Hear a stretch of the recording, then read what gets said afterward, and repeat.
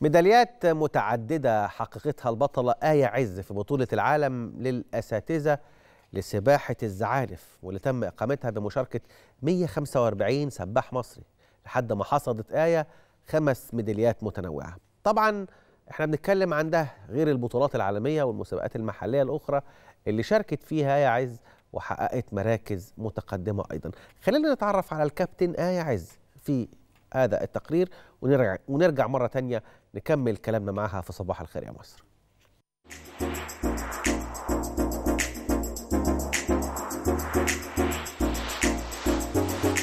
بمنافسة 145 سباحا مصريا شاركوا في بطولة العالم للسباحة بالزعانف للأساتذة تمكنت البطلة آية عز من حصد خمس ميداليات متنوعة تمثلت في ثلاث فضيات وبرونزيتين وذلك في البطولة التي أقيمت بالقاهرة.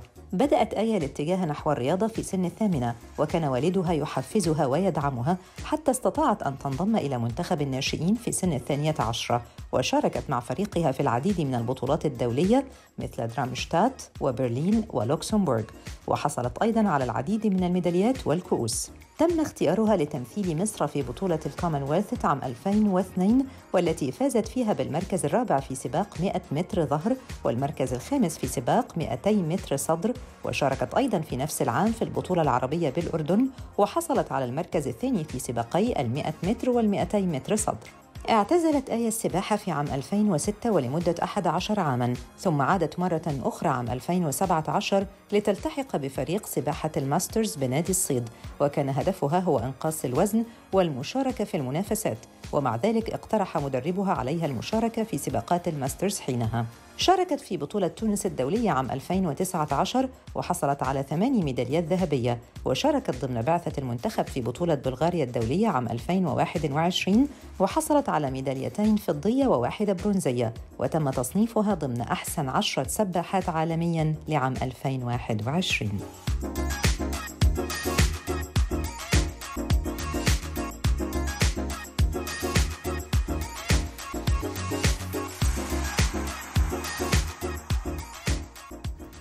الحقيقة إحنا بنتكلم عن رياضة كل عضلات الجسم بتشتغل فيها. الرياضة الوحيدة اللي ربما يعني أساتذة العلوم الرياضية بيقولوا إن هي أفضل رياضة للجسم لأن هي فعلا بتشغل كل عضلات الجسم ما بتركزش على عضلة واحدة.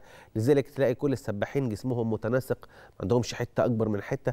وفي نفس الوقت مشدود ما فيهوش أي ترهلات لأن هو فعلا رياضة بتشد البطن بشكل أساسي. إحنا معنا على التليفون البطلة آية عز خلينا نتعرف منها إيه تفاصيل الميداليات إيه هي المراكز المتقدمة اللي حققتها وأيضا إيه هي بطولة العالم للأساتذة لسباحة الزعانف اللي عايزين نتعرف عليها أيضا. أهلا بيك يا منورانا صباح الخير يا مصر.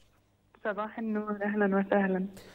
يعني كلمينا الأول عن البطولة الخاصة المسماة ببطولة الأساتذة لسباحة الزعانف. ما هي هذه البطولة؟ مين اللي بيشارك فيها؟ وهي خصائصها بالتحديد. البطولة دي تعتبر الثالثة تشارك فيها حوالي 36 دولة من مستوى العالم كان طيب. أمريكا والصين واليابان فرنسا ألمانيا بولندا كان في منتخبات كتير. جميل. والمفروض إن إحنا كنا ننزل كل واحد فينا ثلاث سباقات أو أربع سباقات. بس فاللي حصل إن الحمد لله قدرت إن أنا أحقق المركز الثاني في ال 400 حارة والمركز الثالث في ال 200 والمركز الثالث في ال 100 جميل. آه أنا كنت ضمن منتخب مصر وبيمثلوا نادي الصيد نادي هليوبلس نادي سبورتنج نادي البنك الأهلي كان عندنا سباحين مصريين كتير مشاركين آه في الفئات العمرية من سن 30 لغاية ما شاء الله عندنا ناس نزلت في الفئة العمرية من سن 80 من آه، سن من, ال Masters من, من, من سن. بتقولي من سن 30 بالظبط. بس دي حاجة كويسة يعني يمكن رياضات تانية ما بتقفل الباب بدري شوية. آه لا هي سباحة ال Masters عامة سواء كان سباحة عادية أو سباحة بالزعانف هي بتبقى categorized أو بتبقى متقسمة من 30 ل 34 ومن 35 ل 39 ومن 40 ل 44 جميل. فكل خمس سنين بينافسوا مع بعض سواء كان سيدات أو رجال. هي طبعا بتدي وبتشجع الناس إن هي تلعب رياضة والناس اللي بتحب المنافسة إن هي تشارك في بطولات سواء كان محلية أو دولية. مهم. كلمينا طيب عن الميداليات والمراكز اللي حققتيها قبل كده.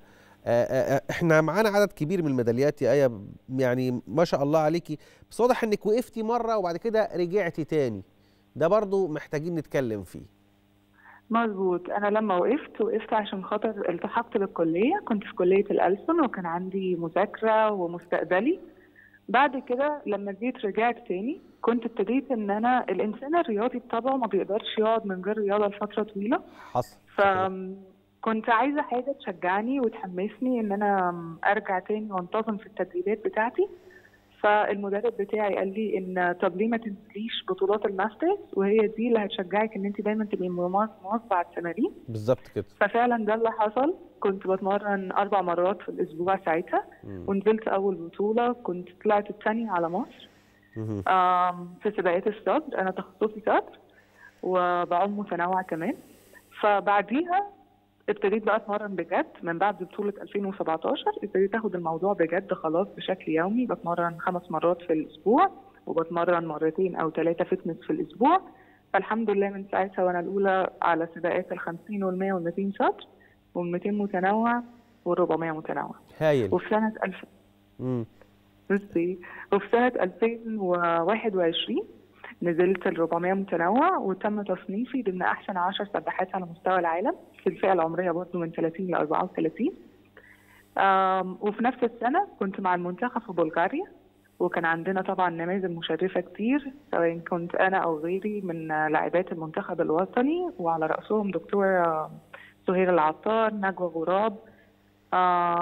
الناس دي بتحقق بطولات وممكن كمان يكونوا حققوا بطولات عالم. ليهم ترتيب على العالم. في الفئات العمرية برضو اللي هو من 60 خمس ل 64 ومن 65 ل 69 فيعني هي البطولات بتاعت آم، سباحة الأساتذة مش جديدة هي بقى لها مثلا ممكن نتكلم في 20 سنة. بس الاهتمام بيها من السباحين ما كانش زي ما هو موجود النهارده.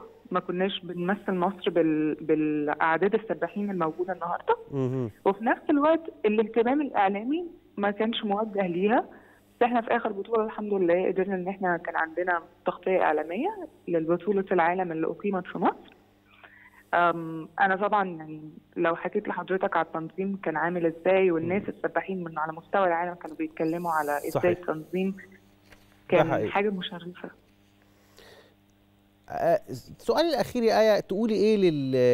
للشباب اللي في سنك؟ انت بعد ال 30 وربما الرياضة مش lifestyle أو مش أسلوب حياة عندنا كمصريين ربما غير الأوروبيين. آه، طبعا أنت عندك دافع أو موتيفيشن إنك تنزلي في بطولات لكن تقولي إيه ليهم؟ وخصوصا إن ناس كتير جدا من الرياضيين اللي كانوا بيلعبوا رياضة في سن صغير النهارده ما بقوش. وسؤالنا كمان في حلقتنا النهارده يمكن مرتبط بهذا الأمر. أنا طبعا بشجع الناس إن هي تلعب رياضة لأسباب كتير، أول حاجة الاهتمام بالصحة، يعني لو كل واحد مارس الرياضة لمدة ساعة كل يوم ما أعتقدش إن ده هيكون وقت كبير من يومه. صحيح. مش هيجي له أي مرض. نعم؟ مش هيجي له أي مرض لو مارس رياضة ساعة في اليوم. بالظبط. بالظبط. حضرتك عندك ضغوط حياة كتير. والتزامات وحاجات كتير في حياتك. فإن أنت تتمرن وتشغل كل عضلات جسمك لمدة ساعة سواء كانت سباحة أو غيرها دي حاجة هتعود عليك إن أنت عمرك هيطول وإن أنت هتبقى المود بتاعك أحسن وهتعرف تتعامل مع الناس. وبدل مثلا ما تكسل تمشي 100 متر هتلاقي نفسك لأ طب ممكن أمشي 400 ممكن أمشي كيلو. صحيح. فعامة هي هتنعكس عليك في الصحة بتاعتك بطريقة إيجابية. مم. وهتمد في عمرك. وفي نفس الوقت هتشيل من يعني دي حاجة عن تجربة. الإنسان اللي ما بيلعبش رياضة بيبقى عنده طاقة سلبية. صحيح. يعني مشحونة جواه. لكن لما حضرتك بتبدأ تل- تلعب رياضة بانتظام.